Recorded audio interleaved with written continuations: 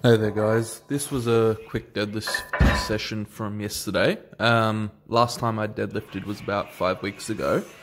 So I've been focusing on my front squat and trying to find a few weaknesses with that and eliminating them, as I believe it then carries over to the deadlift. Um, worked up to a really easy 250 kilos. So for me, when I have a layoff from deadlifts, I always find it takes a few sessions for the technique to feel okay, and then I start, you know, building the weight up over a few weeks.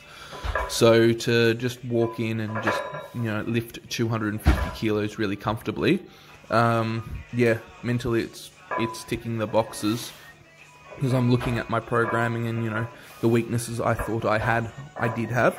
So um, just continuing to eliminate those, and then now I'm going to start incorporating some deadlifts once again.